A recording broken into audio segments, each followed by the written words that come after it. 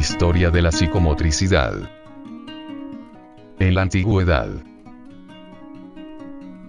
si bien es cierto que, en los primeros tiempos, la cultura griega otorgó al cuerpo gran importancia, también lo consideró aislado del espíritu y la famosa frase de juvenalmente sana incorpore sano.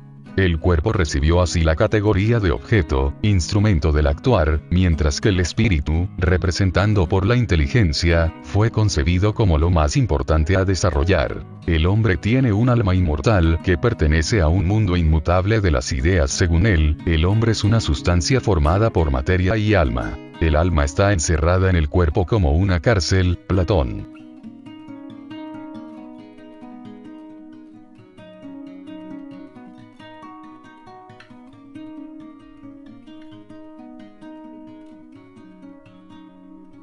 Las ideas de Platón, corroboradas más adelante por Aristóteles y posteriormente por Descartes, dejaron firmemente establecido el concepto dualista y con él la idea del cuerpo como un mero soporte anátomo, fisiológico, cumpliendo su destino de dar cabida al espíritu. La razón coloca al hombre por encima de todas las cosas y ve al hombre como una unidad esencial.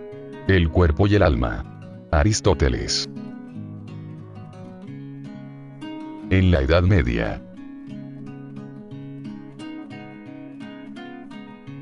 En la filosofía cristiano medieval la concepción dualista parece agudizarse. El cristianismo, sobre todo a partir de los siglos III y IV antes de Cristo, radicaliza esta concepción. El cuerpo, la materia, la carne, el mundo, la sensualidad, el tiempo, es una dificultad insalvable, es la encarnación del mal que ata a los hombres al mundo, el reino de las tinieblas.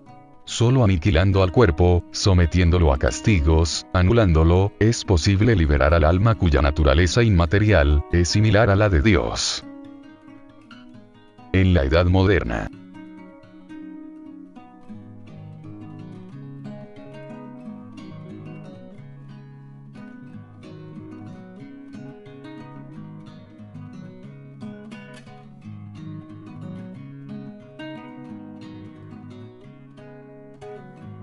La cumbre del pensamiento dualista parece alcanzarse en la filosofía de los siglos XVII y XVI. El racionalismo de Descartes en Francia y el idealismo de Hegel en Alemania conforman un complejo de nueva subvalorización de lo corporal. Este paradigma se ha mantenido estable a lo largo de los siglos y consecuentemente, alcanzó a todos los campos del conocimiento, entre ellos a la educación, donde se exalta la inteligencia y se relega al cuerpo al simple rol de instrumento. Desde esta perspectiva mecanicista, el cuerpo se define indiscutiblemente como una masa muscular integrada por huesos que se articulan y apilan de abajo hacia arriba en una estructura esquelética que encierra a las vísceras y cuyos músculos adquieren el poder de mover tal estructura por la intervención del sistema nervioso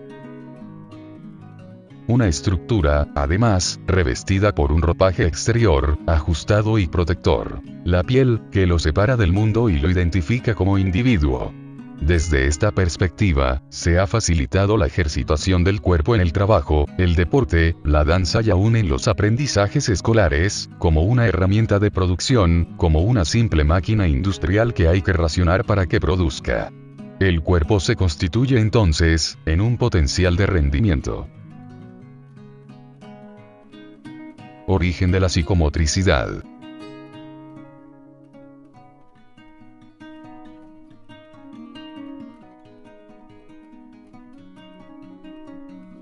El concepto de psicomotricidad apareció a comienzos del siglo XX con los descubrimientos básicos de neuropsiquiatría. Autores como Wernicke, Dupré, Sherrington y otros fueron quienes trascendieron el pensamiento dualista, demostrando la imbricación y estrecha relación entre los trastornos motores y mentales.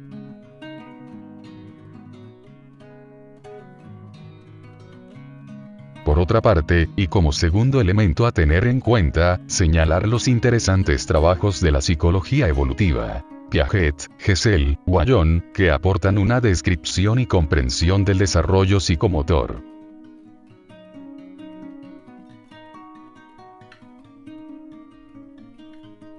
Como tercer ingrediente de esta conjunción de elementos, mencionar los trabajos de Freud y todo el desarrollo psicoanalítico posterior, que vienen a aportar las bases y el funcionamiento dinámico de las personas, en esta línea de W. Winnicott es fundamental por la consideración del desarrollo sensorio-motor como eje transversal en la formación de la personalidad.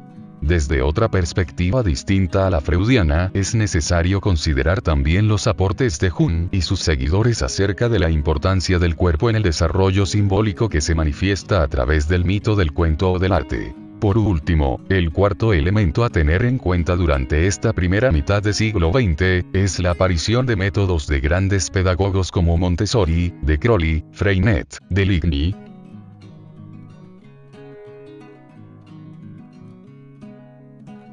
Sin embargo es Julián de Ajuria Guerra y sus colaboradores, como los profesores Dr. J. Richard, Dr. Guimón, quienes van a completar las bases de la noción de psicomotricidad, integrando los aportes de la neuropsiquiatría, la psicología del desarrollo, el psicoanálisis y las corrientes de la pedagogía moderna.